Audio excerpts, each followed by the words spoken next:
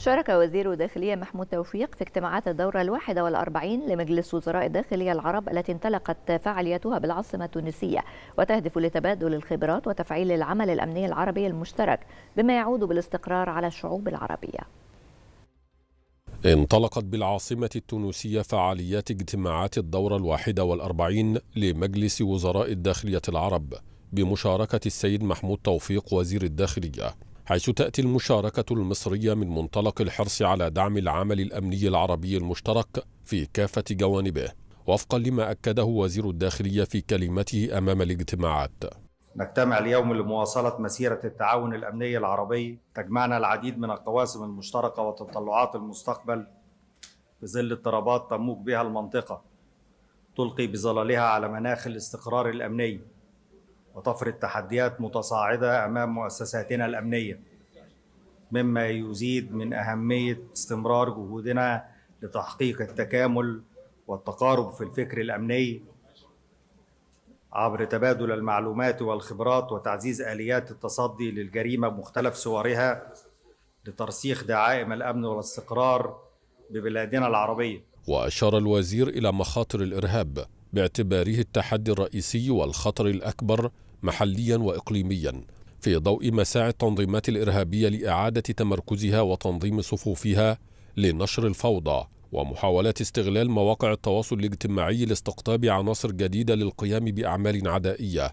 وأشاد في هذا الصدد بالنجاحات الأمنية في تقويض حركة التنظيمات الإرهابية وتفكيك هياكلها وتجفيف منابع تمويلها. مؤكدا على الموقف المصري الداعم للاستقرار العربي.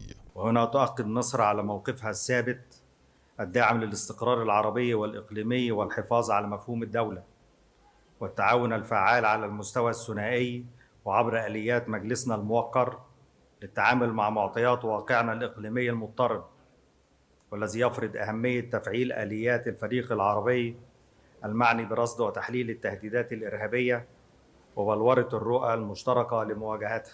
واستعرض وزير الداخلية مخاطر الجريمة المنظمة وسبل مواجهتها وفي مقدمتها جرائم المخدرات وتهريب الأسلحة والذخائر والهجرة غير الشرعية والإتجار بالبشر واقترانها بجرائم غسل الأموال.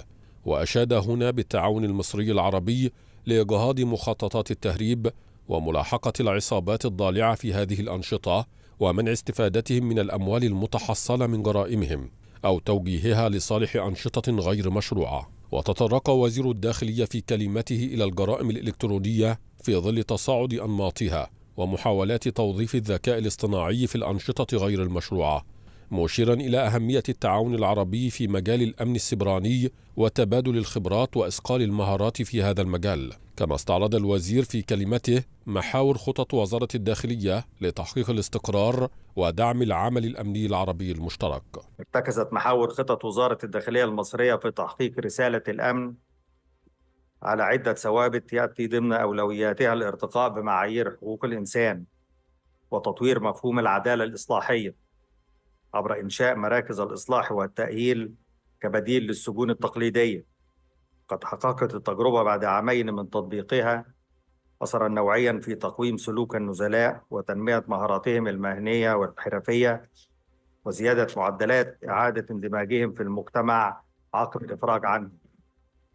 وانطلاقا من مبدأ التعاون الأمني العربي المشترك وعبر آليات مجلس وزراء الداخلية العرب من المقرر استضافة مصر مؤتمر رؤساء المؤسسات العقابية والإصلاحية بالدول العربية في شهر مايو القادم لإتاحة الفرصة لتبادل الخبرات والاطلاع على التجارب الناجحة لدولنا العربية في هذا المجال وبما يسهم في تطوير المؤسسات العقابية لتحقيق مستهدفاتها في حماية أمن مجتمعاتنا. كما أعلن وزير الداخلية عن استضافة الوزارة المؤتمر العاشر للمسؤولين عن حقوق الإنسان بوزارات الداخلية العربية سبتمبر القادم فضلا عن قيام الوزارة بتقديم 81 منحة تدريبية خلال العام الحالي بكليتي الشرطة والدراسات العليا للكوادر الأمنية العربية. في إطار تعزيز التعاون الأمني التدريبي. وهكذا تؤكد مصر دائما من خلال هذه المشاركات العربية حرصها على تفعيل العمل الأمني العربي المشترك الذي ينعكس على استقرار وأمن الشعوب العربية.